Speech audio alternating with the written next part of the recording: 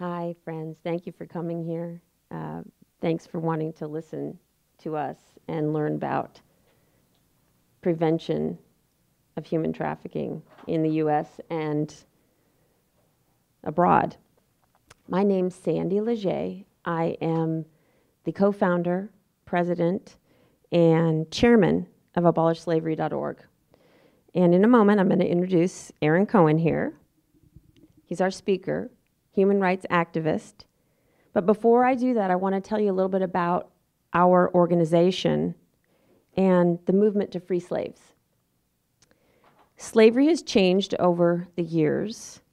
It certainly wasn't abolished 150 years ago with the Emancipation, Emancipation Proclamation with Abe Lincoln.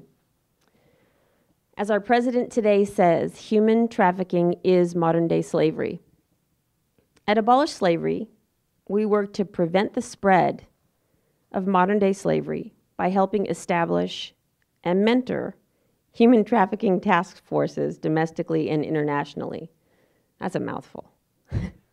These task forces find and protect human trafficking victims and promote the infrastructure needed to rescue victims and assist them on the road to recovery. Today, more than ever, victims of human trafficking are being prostituted, enslaved, abused, tortured, and murdered by predators who exploit their vulnerabilities. But with your help and with the help of victim service providers, we can free the captives together. The human trafficking movement in the U.S. is growing, and with it, many organizations are training law enforcement to better understand the complex dynamics of domestic prostitution and sex trafficking. We recently completed a series of investigations and rescues in New York working with the NYPD. And Vice Detective Chris Bachman from the Metro Las Vegas Police Department and Certified Shelters. These partnerships were the glue that kept us together. Ooh. And it led to, to the rescue of several victims. One of these victims is a young lady named Christina. She's from New Hampshire. And I was there for all of this, as actually, as were Melissa and Gracie, my daughter. She'd been trafficked all throughout New Hampshire, all the way down to New York. And we rescued her. It was abolished slavery with the NYPD help. Her emotional reunion with her mother was successful, and she's now seeing a counselor. She's applying to colleges, and she has a blog that you can visit at where, what's the name of it? It's um, coerciontofreedom.wordpress.com. Coerciontofreedom.wordpress.com. Great. And her name's Christina. With us today, speaking of, is the, vit- the victim advocate for abolished slavery, Melissa Grace Hoon. Could you stand up?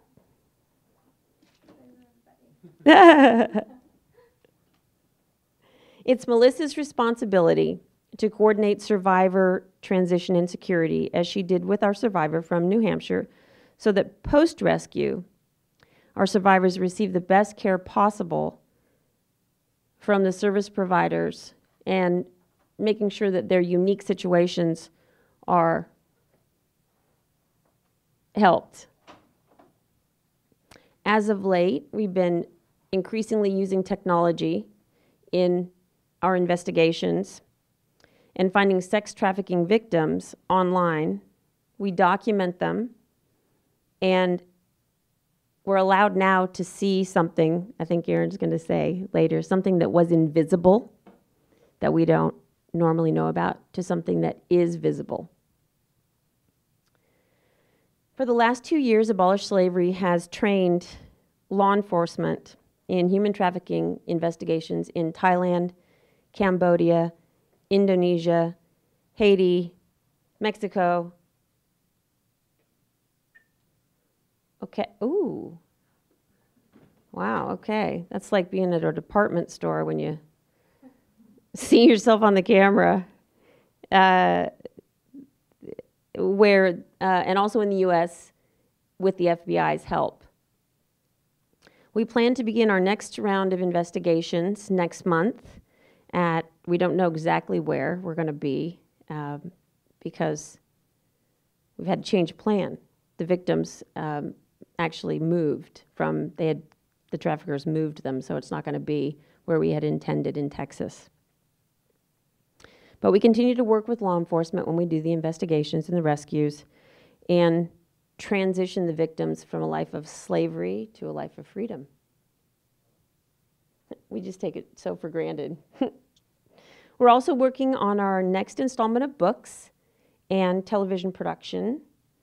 Uh, we're excited to develop some PSAs and other media to raise awareness and to raise crucial funds needed to continue the work of bringing freedom to those who are lost in modern slavery. It's my hope and all of our hope that this short film we're about to show you will help explain the painstaking work of rescuing victims who, at this very moment, are enslaved in the U.S.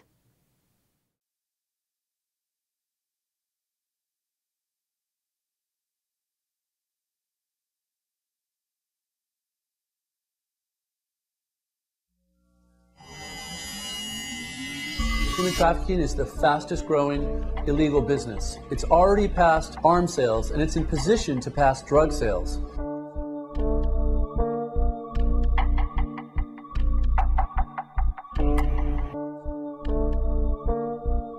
Ever since the internet boom, sex trafficking has been growing at an alarming rate. The massage parlors of Asia are teeming with young human trafficking victims. I met Na while working undercover in Cambodia. She told me she was 19, but I could see she was much younger. What? You're so shy. Right hand turn, we're moving into the hot zone right now. We're now literally three buildings away from the retrieval.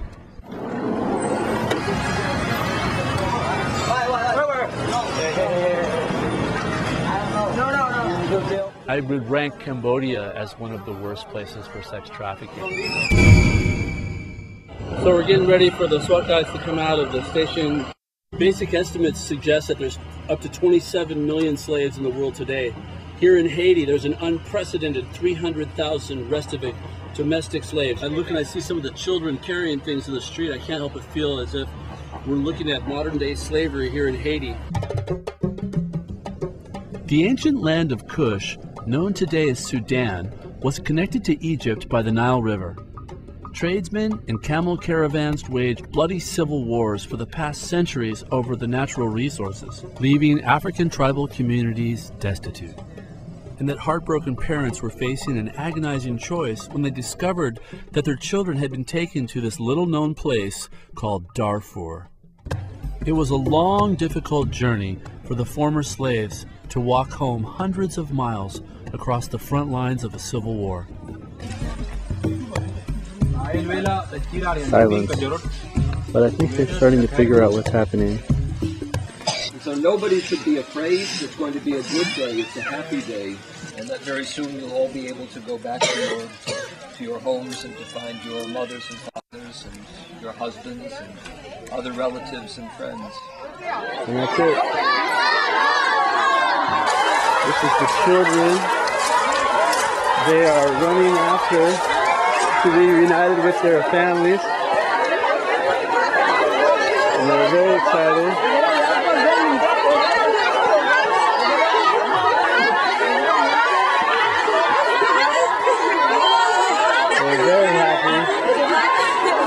Families are being reunited. These are the children that were just released. There's pandemonium breaking out as they hug each other that they're free.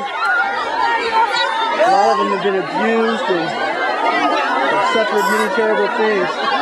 And they're very excited. You see joy breaking out everywhere. Today's your day, man. Jeudi à ces jours. Right? Right.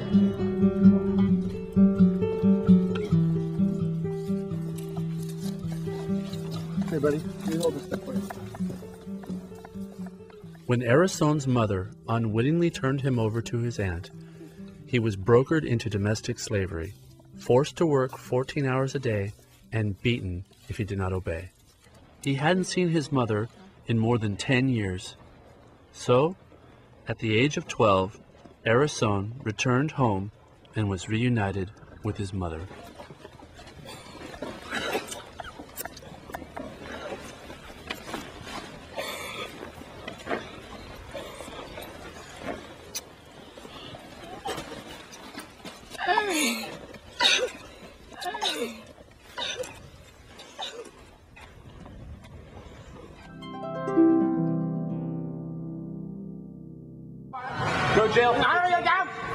Serious business.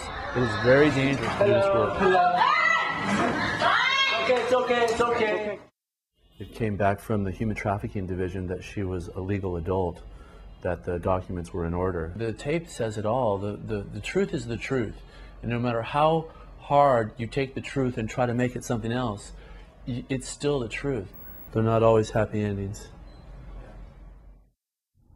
Right in there is our little, uh, our little girl. Right now, the girls are probably still sleeping.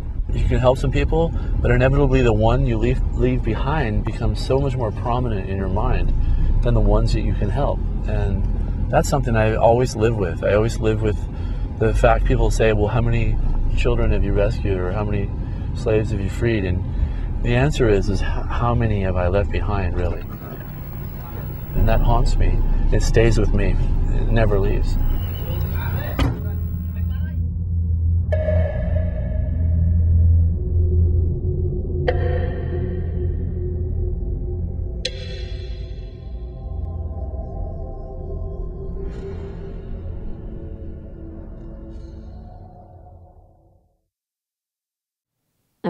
Watched that a few times, and um, the boy, he was two years old when they took him, and I have a two-year-old. I can't even, I mean, he can't even make real sentences yet.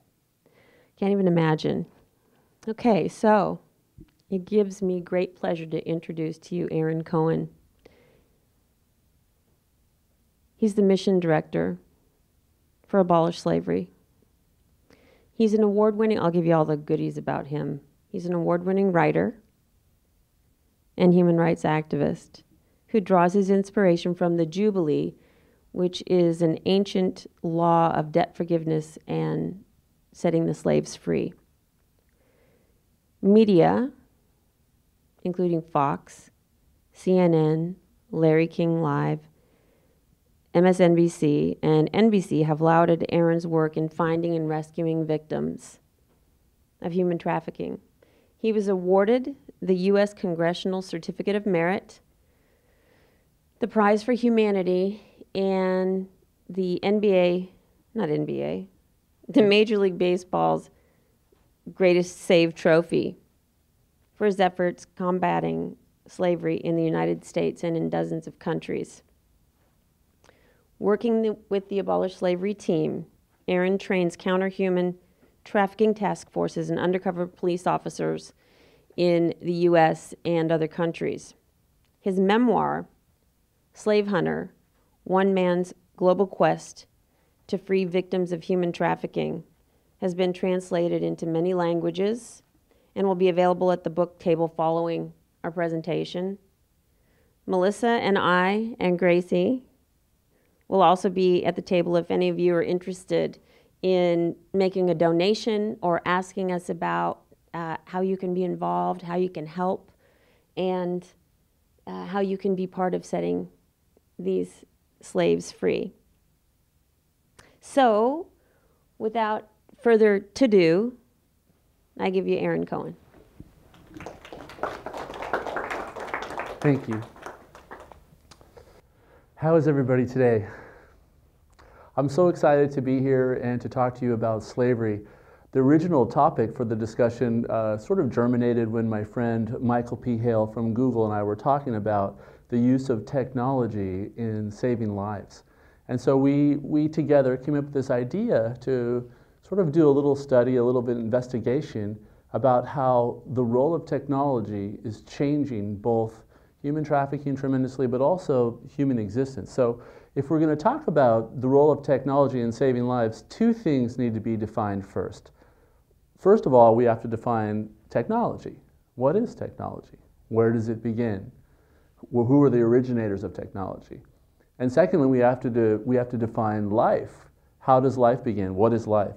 So, what was really interesting for me is you know, I'm a human rights activist and I travel around the world working with vice detectives. We work in task forces trying to find victims of human trafficking and and uh, it can be pretty dry at times. It's your typical scene drinking coffee and eating donuts, and most of the time waiting around. So I got really excited when Michael talked to me about putting the speech together because I learned a lot of things studying about technology. Ultimately, we're trying, all of us in this room, to take our little, our life, and when I say little life, I'm referring to myself. And, you know, look at me, I'm very oddly tall, right? Am I in the uh, Johnny Cash fan club? Maybe, you know.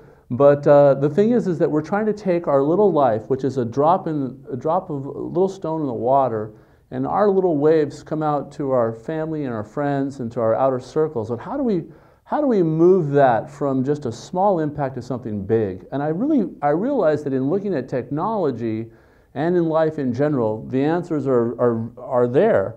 But what's so unique and so different about this topic is that the line between life and technology is becoming more and more blurred. So when we talk about the beginning of or idea of a big, a big bang, I'm going to go through a little bit of a history of science with you. You know, we have these competing theories on quantum physics. The idea of string theory, where mathematically they put together a 10-dimensional reality. And then you have another group of physicists saying they, they, they support this idea called M theory, which is really an 11 dimensionality that then collides with the 10th to create this big bang. And what happens in a Big Bang is that this explosion occurs, this massive explosion, and then, like the little pebble in the water, these huge cords of universes and galaxies come out from that big explosion. And essentially, the oldest writing we have in the world, the, when I went to try to find the origins of slavery, where slavery begins, the oldest writings in the world are talking about the chords of our galaxy, and that's the cuneiform tablets from ancient Sumeria. They even name it. They, they would look to Orion's belt as sort of this grand central station that could take them through the Pleiades to the northern star, where all the other stars rotated around the northern star. And there was this ancient belief that somehow the domain of the heavens was, or the throne of the Creator, shall we say, was vested in this northern position. And so the cuneiform writings talk largely about this. They, they named the first chord from the, from the center Norma. They named the second chord Crux. The third was called Sagittarius. And the fourth was called Orion. And that's where we live. Our Milky Way galaxy is on the fourth chord from the center of our Milky Way galaxy, and we're on planet Earth, the third planet from the sun. So when I realized that the Sumerians, who are, in many ways are the inventors of slavery, because after all, the first records of slavery come from ancient Sumerian culture. In a place called Babylon. Now, remember, remember the Tower of Babel from history uh, lessons from the biblical story? Ancient Babel was a place where they all spoke one common language. They had a common theme, and they had figured how to become interconnected. Now, the word that they use in the ancient Aramaic is this word called Shem. Now, uh, a Hashem or a Shem is what we call a name.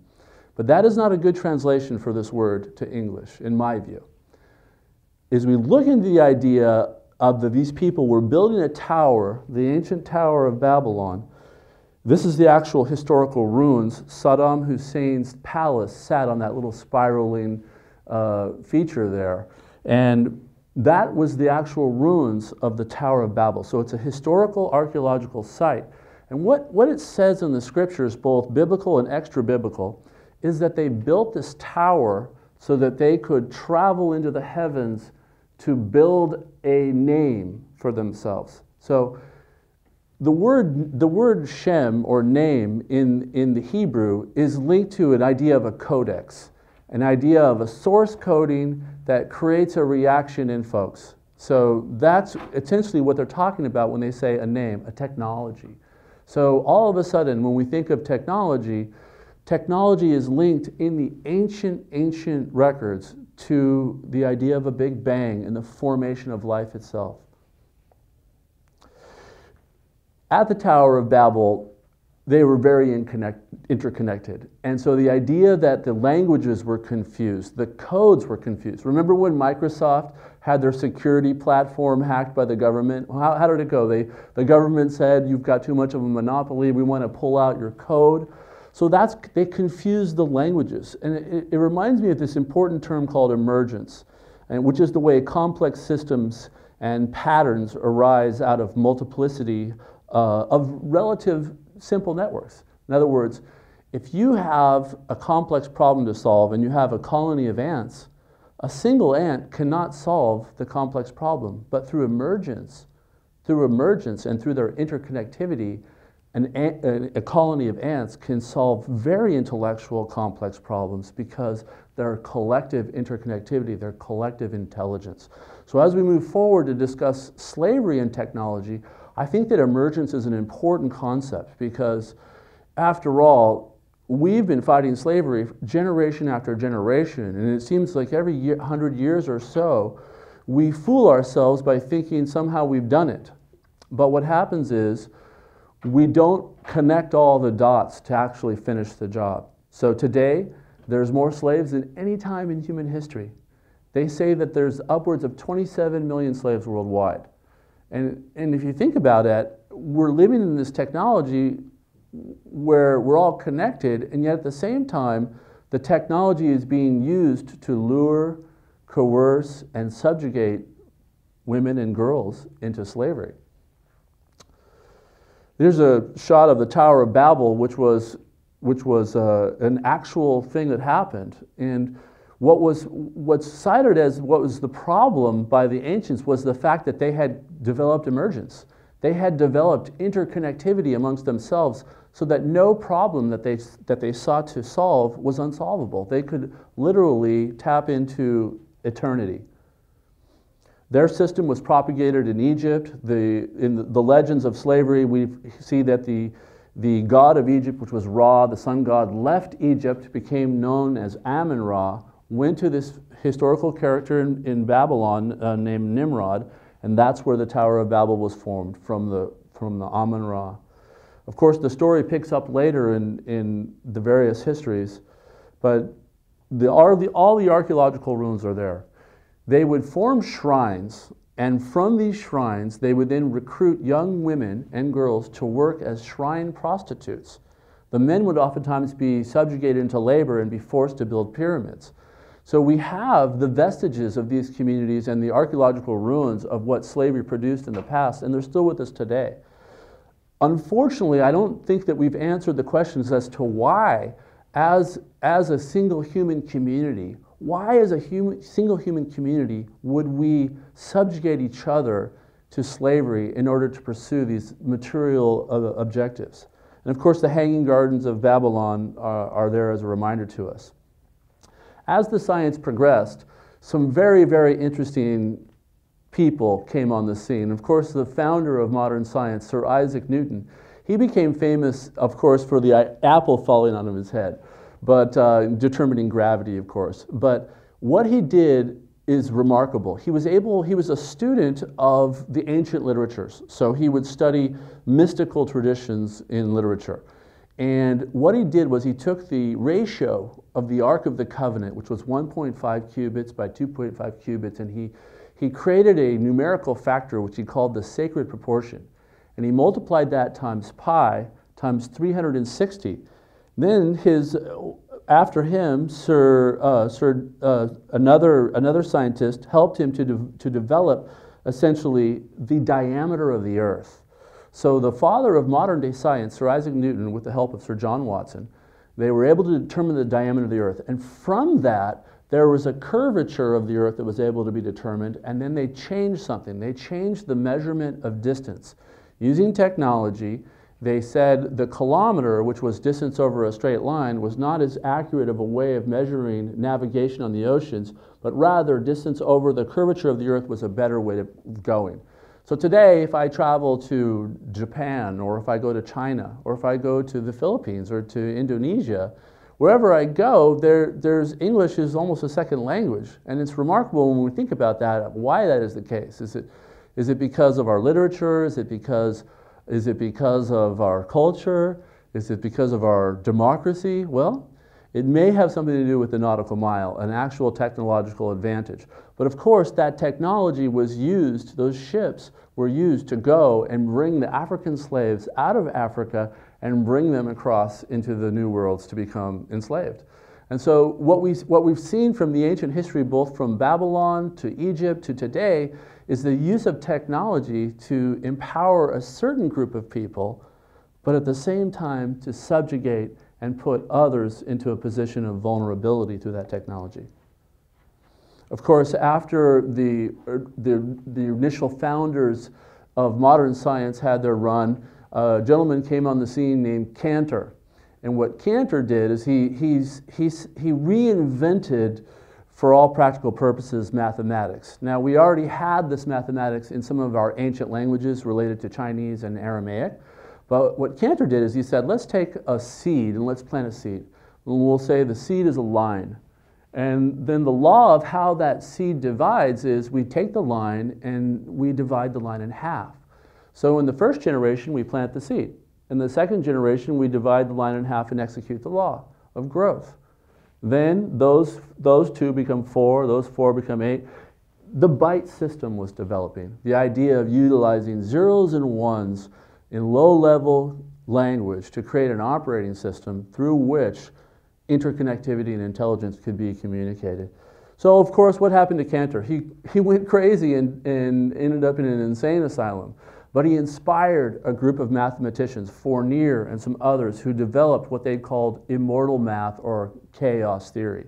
The idea that 1 plus 1 equals 2 was a concept in what we call mortal math. But 1 plus 1 equals infinity is reflected in this because a seed is planted and it divides to infinity. So it's a different, it's a different construct of looking at mathematics and physics that Cantor and Fournier developed for us. And of course, that, that, those were the seeds that led, of course, to the computer coming on the scene.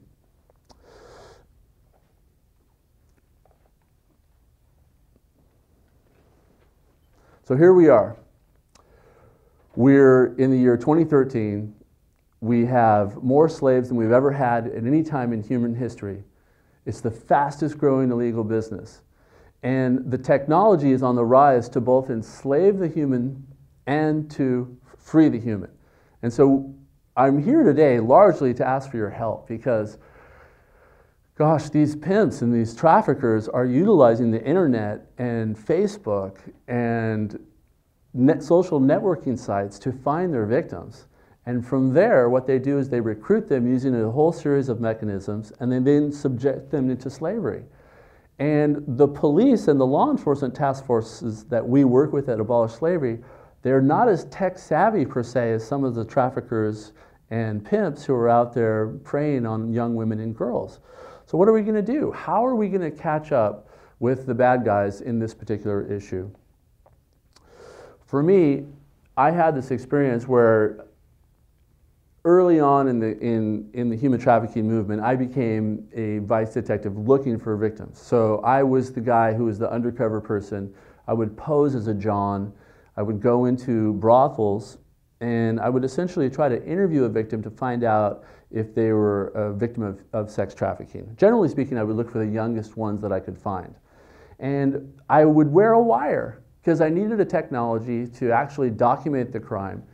But the problem was is that the wire was so it was so I had a transponder and the wire went from my shirt, not unlike the microphone I'm wearing now. It went from my shirt to here and then I had to have a backpack to pick up the signal.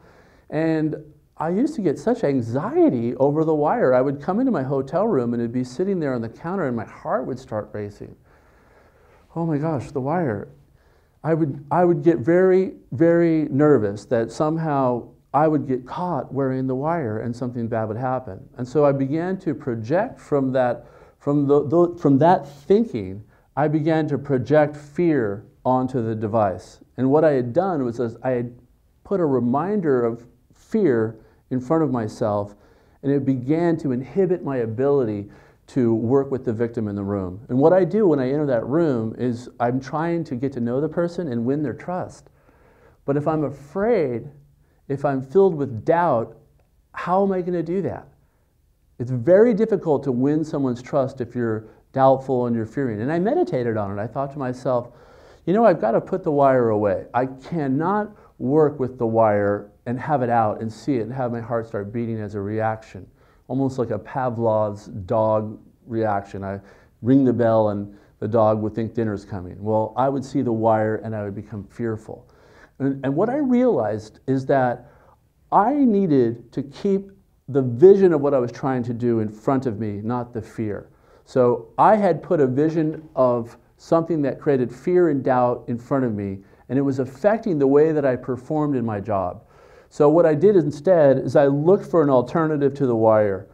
And uh, it's interesting, you know, you, laugh about it, but it, it, these birds says it's a, it's a bit freaky with the wireless technology. They're just hanging on nothing there in the air. And that's what I was looking for. I was looking to become the person that could work in that room with the victims in a way where I wouldn't be caught wearing a wire and get beat up or worse.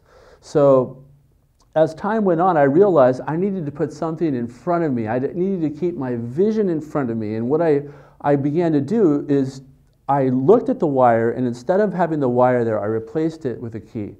And I put a key there on the, on the counter in front of me.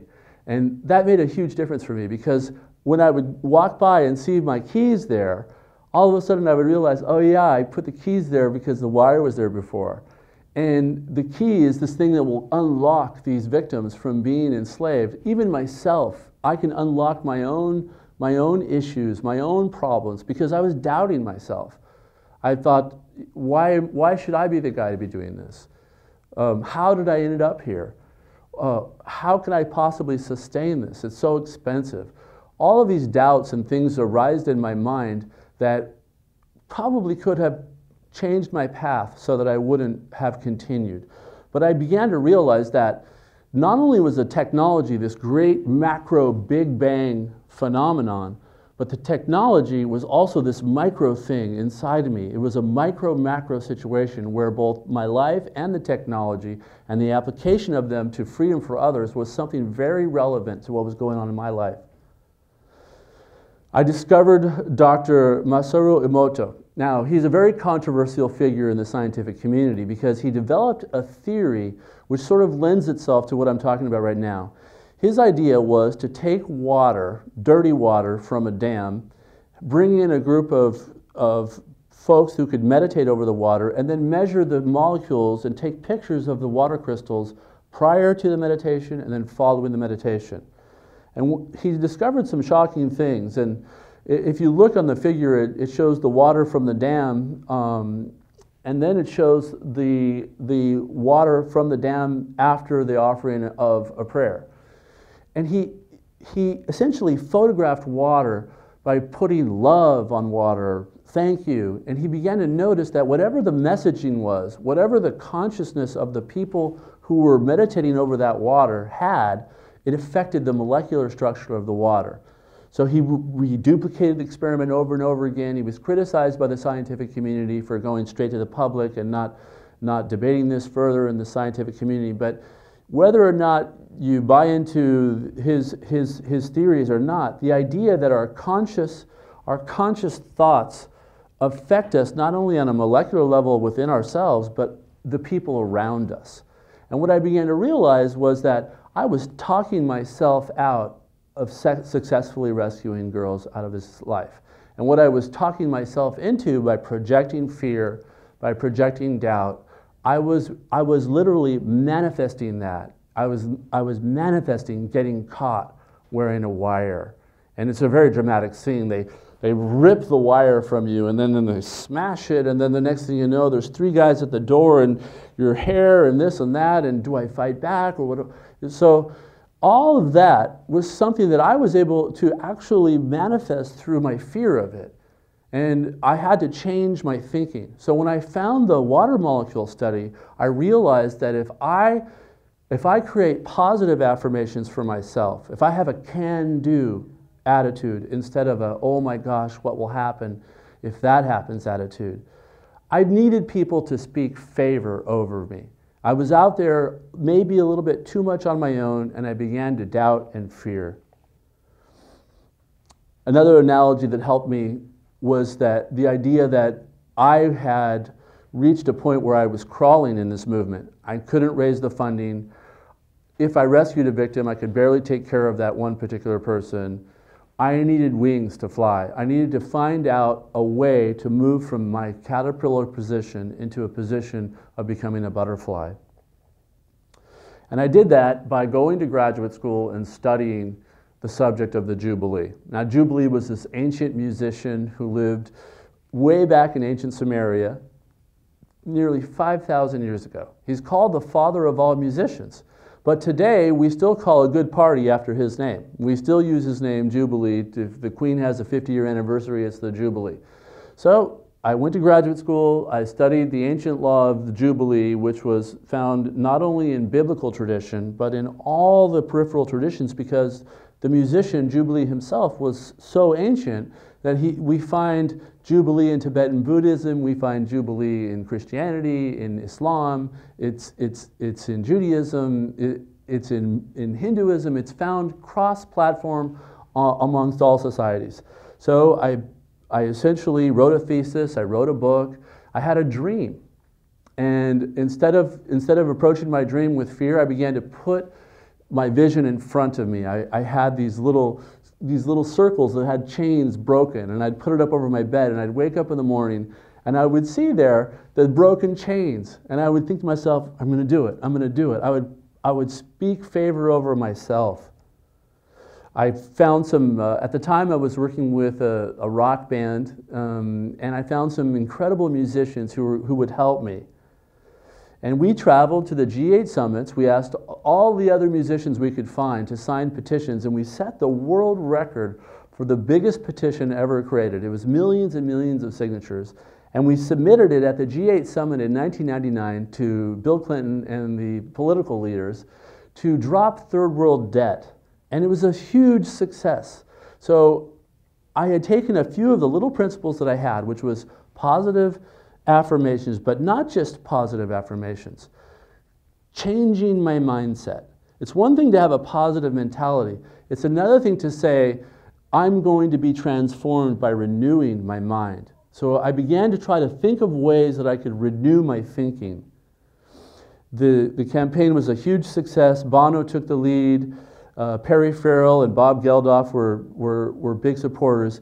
We, we raised a lot of money. We parlayed that now, the Jubilee was forgiving debts and freeing slaves, and I wanted to try to manifest this in my life. So I sought out to first forgive debts, and we forgave third world debt. Still working today with Rolling Jubilee, that is an organization that works to relieve uh, medical debt for people who have fallen into poverty. But uh, the Jubilee was a two pronged thing forgiving debts and also freeing slaves. In 1997, uh, when I was working with Michael P. Hale, I didn't know where slavery existed. I just knew that it, theoretically it was something I wanted to talk about uh, the idea of being enslaved to myself, my own thinking, or, the, or my ability to transform from that caterpillar position to a butterfly and renew my mind. So, what did we do? We went online, we used technology to find out where there were slaves. So, I, I, I essentially went into a search engine and I typed in slavery and I saw where I began looking at a few links, and I saw that there was slavery in Sudan. So after a, we, we created a concert tour, we did some festivals, we raised some money. And the next thing you know, I was on a plane on my way to this country, Sudan, flying over the Nile River crossing the, the border of Kenya into Sudan, there's a city called Lokichokio, and it's sort of their last outpost before you, you're going all the way inside, where there's really no more hospitals, there's no more infrastructure, no more Coca Cola, no more bottled water. It's ceramic water filters after this point. We land, the local military greets us, And, you know, at the time, I, I didn't really know what I was getting myself into. I just knew that I, I wanted to be involved in freeing slaves. And so we land, and the reality hadn't really hit me yet. I was sort of living this sort of, it was kind of like the Lion King. The trees were similar, there was drum music playing, and, and I, I romanticized Africa so much that when I landed, it, it hadn't really hit me what was about to happen. So we're landing the plane is there, and they begin loading bodies into body bags to move them on trucks out of the region because the civil war between the North and South was very bloody. And the Janjaweed, these, these raiders, were being supported by this group nobody had ever heard of called Al Qaeda. And Al Qaeda was there, and they were then looking to subjugate people into slavery to, to promote the, the well being of some of their sponsors. So we would unload the survival kits and deal with the Murahalin, a group of, we call them the Schindlers of the Taliban. There were these humanitarian Muslim guys who had helped to devise an underground railroad in Sudan, bringing the victims out from the north, from this place no one had ever heard of, Darfur. The slaves come out, there's some, you start to put a face on slavery and to realize that a slave is not the same as a free person. A free person is responsible for all their decisions. Somebody who's a victim of slavery, they have very little responsibility in their life. And so when you begin to see this humble spirit, my first encounters with slaves was really shocking because they would just look down and they, they wouldn't give eye contact and they would just answer yes or no. They were very, very submissive. Some of the children that we encountered in the camps had nothing at all. They, they had come back through the Underground Railroad, and along the way, someone saw shorts or shirt and would take it from them. But ultimately, reuniting them with their families after that arduous journey was an incredible moment in my life. I realized something about myself that whatever dreams and, and goals that I had had before of having this big music festival or doing these things, those, those dreams were fine, but the idea of liberating people had, had superseded all my other plans.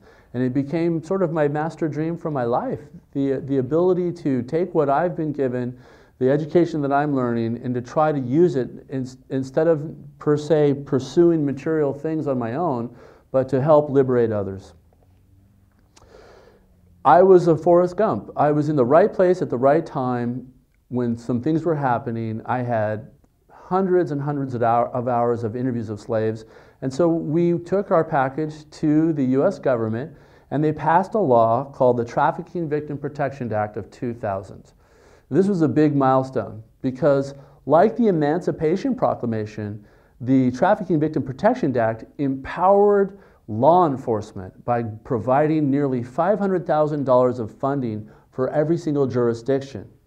A lot of the contracts went to me. Um, and as I, as I approached the work, I first went to uh, Nicaragua. I had, I had always been doing slavery sort of intellectually. I was looking at the different organizations. I was seeing how they worked in task forces.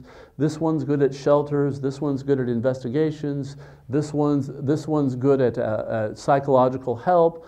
I, and I, I was completely analyzing everything all the time. But when I began to get the contracts to do the investigation in, sex trafficking assessments, that's when I had to really, really work on my mindset because fear could easily creep back in. How many of us say, uh, I can't do that job? I can't, I can't get that promotion. Uh, I, can't, I can't be in this relationship. I can't do this. I can't do that. I had to change my mindset in order to be able to do the, the investigations. So largely that meant changing my environment because in order for me to keep a positive mindset, I had to have a team around me, and I have a great team. And by, by changing my environment and getting into an environment that was going to speak favor over my life, I was able to change my mindset properly and then begin the process of essentially becoming a, a vice agent in sex trafficking investigations. I was in Miami and I met somebody who would become a little bit of a mentor for me and inspire me. And I, I don't know if you recognize her picture, but her name is Cedella Booker. and she's a very famous mother. She's the mother of Bob Marley. And so I was friends with her godson, and we went to visit her one day, and she pulled out her Bible and began studying and was very interested in slavery, knew that I was working in Sudan trying to free slaves. And we began a little study, and I showed her.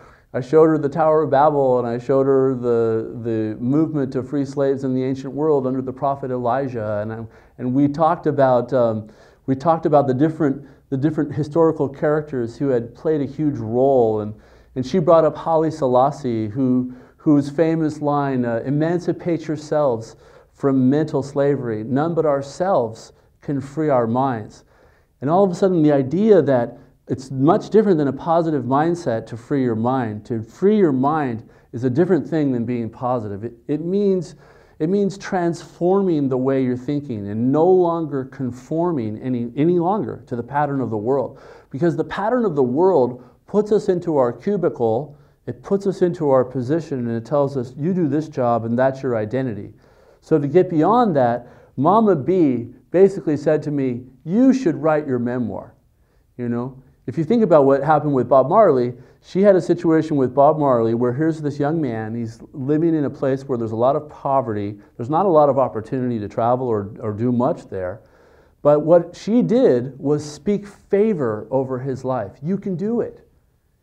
You can change the world from right here. It begins with yourself. And she, she was so proud to talk about how her and her son spent a lot of time growing up and how he was very inspired by the, by the whole idea of freedom and that freedom for himself, for his people, for his, for his country, for the world was a huge ideal for him. So after uh, an hour of inspiring session with Mama B, I left, and a little while later the phone rang. She had invited me back that weekend for another study. I said, "Sure, yeah, I'll study with Bob Marley's mom." And so I went back to the house, and uh, she had this book, and the book had been translated to Hebrew. And it was her memoir, it was her life story. And she wanted to give me the book. And she basically said to me, You need to write your story. You need to write your story. She spoke favor over my life. And that inspiration for me helped me realize that if I'm going to change my little ripple into a big bang, I'm going to need to use technology to get my story out. And I'm going to need to use technology to take on organized crime. And I'm going to need to use technology on myself biologically to change my mind, to change my thinking, because I'm scared. I'm afraid. I don't know how, if any of you have ever looked down the barrel of a gun, but it, is a, it changes the way that you think because you realize how much of your of life we're taking for granted. And so I did it. I wrote, I wrote the book. From that point on, I began to really work on myself in the context of the investigation. So I, I, I went at it with a vengeance. I was traveling 80% of the time on one contract or the other for one organization or another. Working in Cambodia, I would work in the karaoke brothels, singing karaoke to young, basically children in the brothels. We would find a victim in there. Uh, we would ask her to go get all of her young friends. They would all be rescued by the police. Uh, maybe a year or two later, I would go back and be reunited with them. Very proud moment the day that Chani graduated from high school. We had rescued her when she was 13 years old. So when she was 17 and graduating from high school, they invited me to come present her her diploma. So I went and I presented Jonty and the other girls their diplomas, and it was a. It be, I began to realize that you know what, I'm just one person, and as one person, I can have an impact on on the people around me, the people that I love, my family and friends. You know, Gracie's here and Melissa's here and, and uh, Sandy and Michael. These are people that I've known for, for, for a long time who I love, that speak favor over my life. If I didn't have that, if I didn't have the right environment, I don't know if I could have reached the point emotionally and psychologically. Even today, as I'm preparing for the missions that are coming up, I'm going to be in that room again, wearing, wearing the microphone uh, the rooms are fully cameraed. But I, I, have to, I have to essentially work on myself first. And by renewing my mind, I then prepare my, my, myself, my vessel, for to become a conduit, to be able to take a power greater than me and put it through me into the work. And that, that's, that may sound funny, but a lot of people, they sit at their cubicle or they sit at their desk and they think this is just my job and what I have to do. But I think that if you can get beyond that kind of thinking and start thinking that this is just a conduit, this is a vessel for me to channel a lot more through my life, it, it's, very, it's very transformative. Traveled to Iraq, worked on the slavery problem on the border between Syria and Iraq. It's a very difficult situation there today. Traveled to Burma. Uh, we, we doing human trafficking work. We run into a, an entire village of people who are starving to death because they're cut off in the war. I call Sandy. Sandy, can you help out? We have a situation, the whole village is starving. So what does Sandy do? She, she buys truck loads, loads of rice and olive oil and, and milk powder and we organize a convoy, we risk it all, and we get the village fed. Just problem solving along the way in Haiti after the earthquake. You saw from the video the young boys that were carrying cement after the earthquake and going around with the SWAT team. You know, when enti- the, the prison collapsed, and all the pirates in the Caribbean who were in jail got out in a single day. And they went to this one place, Cité Soleil, the city of the sun, and they began buying arms from UN traders. And next thing you know, every day we go in, there's, this, there's these exchanges going on. But here's these little kids carrying cement blocks. And uh, it, it's remarkable when you think about it. Uh, what both sides are struggling to do is get better technology. The, the prisoners who had escaped are looking for the best technology and weapons. The guards that are, the, the SWAT guys that we're working with are asking us, can you get us night vision? Can you get us this? Everybody's trying to scramble to get the technology. Um, but in a way, we're, we're, I see it as the dark ages because we're scrambling to get the technology to go against each other. When are we going to be scrambling to get the technology to create the unity and the holistic life that as a human family we could, we could actually appreciate? We arrested a bunch of suspects, uh, took them to jail, and then we had the privilege of reuniting these children with their families. And I don't, I don't know if you know, but the gasp for breath when they hug each other. Recently, we, we had this reunion in New York. Young gal from our operation, I, I think that uh, Sandy mentioned to her, we call her Veronica. But Veronica was in a very dire situation, and when she was brought to her mother, when they embraced, that gasp for air, oh, you'll see it. We filmed the whole thing.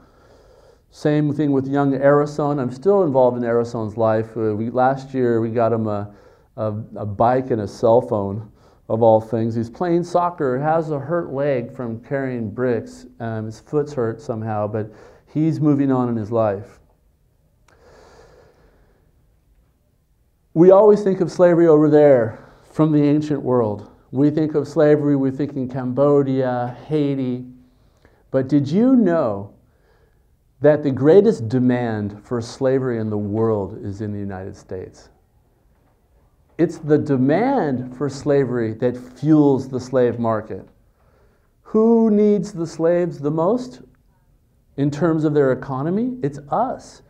We have an entire generation of men who are learning sexuality on the internet, which is much different than how it was 15, 20 years ago. So nowadays, when an eight year old boy follows a link in his email to something he shouldn't be watching, it changes his sexuality, it changes him. It's not the favor that's being spoken over him that we were talking about earlier. So, what we've done is we've began to try to use technology the way that the traffickers are. So I've, I've spent the whole winter in New York, and this is a, this is a picture of our control room. You can see me there in, in the room waiting for the girl to arrive. I went on Backpage, and I worked with Detective Boffman, and the detective is just he's an ace at saying this language of this ad, it looks like it's written by a pimp. And I think we should put her on the list. So the next thing you know, we've got a list of 30, 40 girls that we're going to call and then I call them and we arrange a date. Uh, the girl comes to the hotel room. I'm in one room. I've got the police and security guys in the other room, and the room is wired. I mean, wired. And very hot because there's all these big police guys in there, and the stakes are really high. It's illegal to solicit sex in our country, so if I say the wrong thing to a question, if I make a wrong response, I could be arrested, it, or what we're doing could be shut down by the police. So I'm walking this tightrope of explaining to the girl that, you know, I create a mess on the bed, I create a flow so that she goes straight to the room service table. I have staged a salad that's been barely eaten and I'm hungry and I'm ordering room service so that we, we flow from the date, from the encounter into the room service table. And then I begin to ask them questions about their life and I begin to share my challenges and my experiences with their life. And I'm, and I'm thinking in my mind, you know, if I can create emergence with this person, with others, if I can connect her to Melissa, if I can connect her to Sandy, I began to visualize in my mind to keep my vision in front of me with the victim there. And largely in the first encounter, I listen and try to develop trust. I'll cut up the date right at the hour, and I won't tip her. If it's 200 an hour or 300 an hour or 400 an hour, I just give her exactly that. But I'm taking notes the whole time. Is she on her cell phone? Is she texting? Is what is she doing? You know the, what the pimps do when the girl walks in the room. She's required in the first three minutes to text, "I'm okay," to say what's going on. Then every three to five minutes they're checking in, and you know why? Because 80% of prostituted women have violence uh, done on them by Johns. So the women are, are scared. A lot of them are shaking and nervous in the room.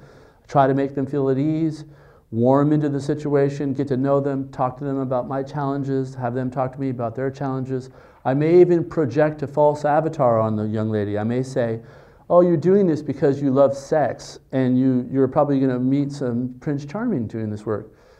No, not at all. I mean, other people chose this bag for me. Other people did this. And I, by projecting a false avatar, there's interrogative techniques that we can use. It's if you speak favor on somebody and it's what they want to hear, They'll say yes.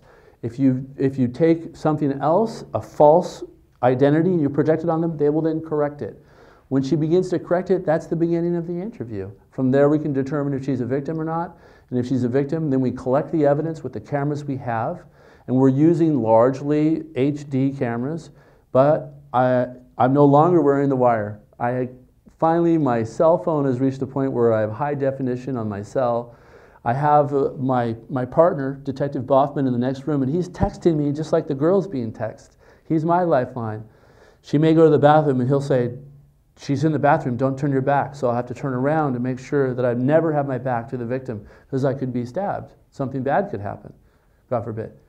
So I'm keeping my key on the counter in front of me. I'm keeping the mindset in front of me. I'm thinking to myself positive thoughts. I'm projecting the renewing of my mind on this person. We're talking about deep philosophical things about freedom, about slavery, about the use of her phone. The technology has become this intimate companion in the human trafficking investigation. And unfortunately, I'm here to tell you that the pimps and the traffickers are ahead of the rescuers. They're ahead of us technologically. They've found the way to use anonymity and denial the technology has afforded them, through the use of the internet, to create anonymity and denial amongst the Johns. And there's more Johns in the United States than there in any country in the world because we have a, a, the biggest middle class economy and there's more men willing to buy sex in our country. The problem is there are not enough women willing to satisfy the demand. So what happens when that, when that happens? What happens is the market says, okay, let's make it more expensive. And so what happens is that human trafficking networks need to lure, coerce, corral, and subjugate young girls into trafficking. And they do it on Facebook, they do it on Instagram, they, they, they do it on all the popular platforms. You know, the thing is, is that I was excited to speak at Google because of all the companies that I've seen and there's a lot of companies out there that have issues with slavery. All of us, as Americans, we have issues with slavery because of a lot of our products, whether they're t shirts or tomatoes or chocolate or whatever it is. There's slavery is, is reaching its little fingers everywhere, everywhere in our lives right now. But the thing about Google is, is that they're investing in the intelligentsia. A couple of my friends have PhDs in human trafficking or working with Google to look for solutions in technology. Um, there's some guys at USC who are working on technology and human trafficking to, to, to find ways for us to utilize the technology to identify the victims and to rescue them. So if you look at the setup in New York, it's, it, it's, we've got some sophisticated stuff, but so do the traffickers, so do the pimps. This is a shot of uh, Detective Bachman, my partner. He's uh, watching me in the other room, and, and one of the cameras is on him, and he's taking notes on every single detail that occurs. So, you know, when I look out here, I'm not looking, I'm not looking at regular people. You are not regular folks. I'm, I'm looking at royalty here. You are royalty. You live in an economy, you have an intellect, you work at one of the top companies in the world. I'm looking at geniuses here. Geniuses who can change the world. It just takes getting up off the chair, renewing your mindset.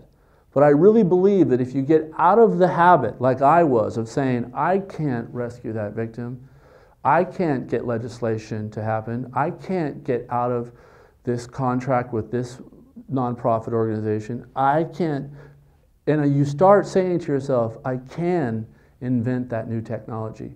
I can go upwards in my company. I can reinvent myself. I can do better in that relationship. I think it's our ability to speak favor over, over each other and our ability to renew our mind. That's where the freedom is at. You know, the more I get involved in, in slavery, in the issues of slavery, the more I realized how enslaved I am to my own addictions, to my, to my, own, my own old ways of thinking. So I want to, in closing, I want to inspire you to think about not just positivity, not just thinking positively, but actually renewing your mind, catching yourself in moments of doubt.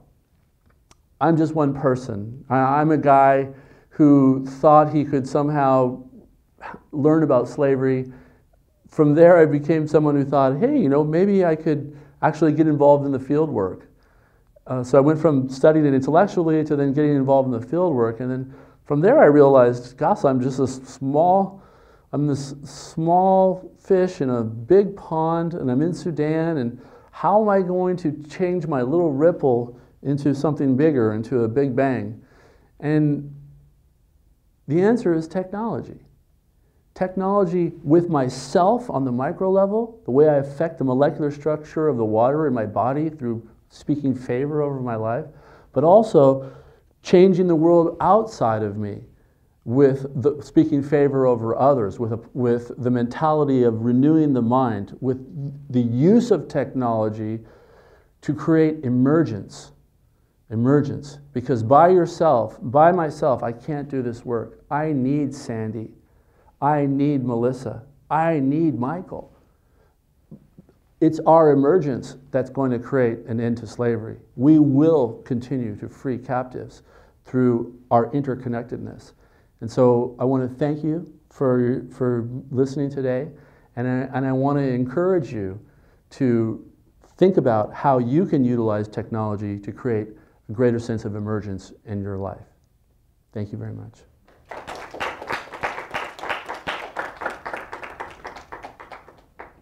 Can you discuss the extent of the problem for boys? It's a good question. It's interesting how our society uh, almost condones the exploitation of women and girls because when you see a very young girl at a club, people don't think twice about it. But when you go looking for young boys, they're so hidden away that you've really got to be seeking and finding to get it. You, you've, you've got to actually know that's what you're going after. I've worked on some investigations uh, regarding young boys. And generally speaking, they'll, they will take a young boy and they will put him into um, a strip club or a brothel situation. And then he's there cleaning or whatnot. and then customers will come in and someone will see and say, you know, so it, it's similar with boys and girls the way they utilize them, but they represent a much smaller demographic than women. Um, of all the 27 million slaves worldwide, upwards of 80% are females and young females. So it, it is a problem with boys. Um, it's a much more recondite problem. It's hidden from everybody and it's very difficult to find it. It's difficult to find it from an investigative perspective. You can find it online, no mistake about it. The will amongst society to do something about it is not the same thing as with women. We're both accepting of the slavery of women in our society, and we're, we, almost, we almost put the, the boy issue uh, away. Now, from a law enforcement perspective, there's people doing something about it. I'm glad that they are. You know, I've worked on some assignments myself. It's much, it's more difficult, and more needs to be done. However, I think it's good that we talk about human trafficking and slavery in the context of women predominantly, because after all, they make up the vast, vast majority of victims who are being exploited.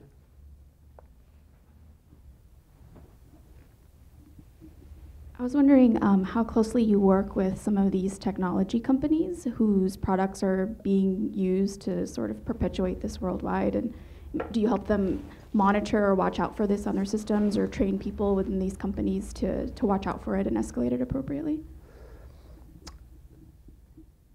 Well, the question regarding whether or not we work with the companies that have the issue is it's always a sort of a you can have an adversarial relationship or a cooperative relationship. And in the case of Craigslist, we had an adversarial relationship because you know you go to these people you say little boys and little girls are being sold on your webpage and they're being uh, lives are being lost here's a whole list of the victims here's a list of the ones that died here's a list of the ones who are recovering they were sold on your service and there's no return call there's no, there's no nothing. And then there's some brazen remark about how we can't police the internet. We're against, uh, we're in favor of net neutrality. So what happens is, is when people are making a lot of money on something, um, we had a similar problem with Backpage because Backpage, uh, Village Voice Media, um, Backpage owned, owned Village Voice Media. So we, we organized some protests and we went down there and and protested at Village Voice headquarters in New York and, and um, made a passionate plea. And what happened was is the company sold off its, its Village Voice. It's almost like a, a mob operation where the mob would have a restaurant and they own the restaurant. There's never any customers there, but they have meetings there. And then what happens is you find out, okay, this is your restaurant. Then what they do is they sell the restaurant and move somewhere else. So in a sense, that's what happened in the back page uh, analogy. In terms of tech companies that we're working with, um, there's some great products that, that, that Google has coming out that I'm excited about. Um, a lot of the cloud services and the, the, the ability to network with people and, and have video conferencing are huge components for us. If we could have greater access to video, video chat, that would be a huge thing.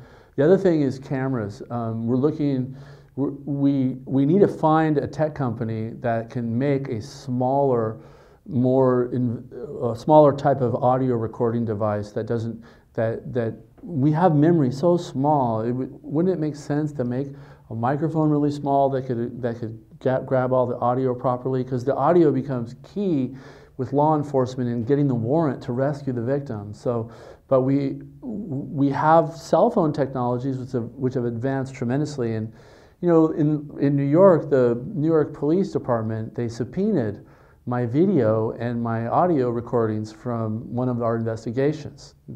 Pimp was beating her up and was caught on camera. The use of technology from the street corner gets her getting beat up. He goes into jail. And then uh, he gets out of jail. And I'm on my way to her to try to get to her at the shelter, but he gets to her first if we had uh, the right kind of technology communication set up between the shelters, we would have been able to intercede on that victim's behalf. So most of the most of the the relationship with tech companies has been to show the, the problem online, whether it was Craigslist or Backpage.